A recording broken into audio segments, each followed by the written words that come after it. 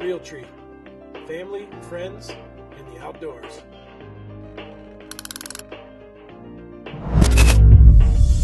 What Kirk and I did is we then switched and went back and got into another stand.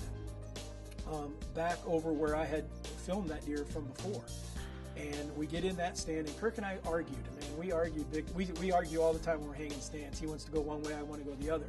But I had a spot where I wanted to put the particular tree I want to put the stand in, and he wanted to be in a different one. And we chose to go with his. He was the shooter, so I let him pick. Well, lo and behold, we had a three by three, a, a Pope and Young three by three. He's just a giant. And he comes walking in, and if we'd have been in the tree where I wanted to be, we would have killed him. But instead, he's too far away. But right before dark, we hear a grunt. Here comes a buck. Turns out it's the same buck that I had passed up.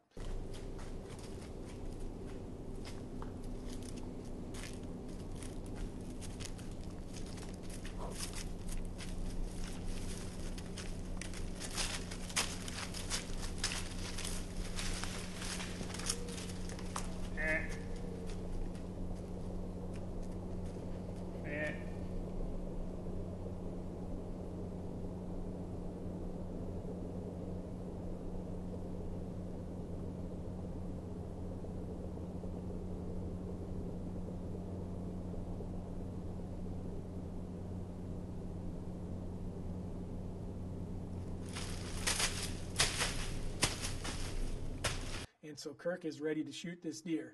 Well, we have also argued about where our stands went in the tree, meaning which side was going to be the shooter stand, which one was going to be the, the uh, camera stand. And Kirk took the other stand. From my point of view, it's wide open. You can see the buck is clear as day. But from Kirk's, he has that one tree right there, right in the way. And so Kirk's whole hunt ends up, he doesn't kill a buck. Um, and even though we had a absolutely great opportunity to get it done a couple times. Just didn't happen. So um, that's the way it goes. You know, you'll argue with your buddies. Sometimes you make the right decision, sometimes you won't. I can tell you what, me and him will always remember this hunt. We'll remember it number, number one because it was the hunt that was going to make us famous, and it didn't. Um, it will it will remember it as the hunt that we killed our first whitetail buck on video, and but more importantly, we'll remember it because it was just a lot of fun. Fun for two friends to go up and spend the time hunting together and, and have as much fun as we did.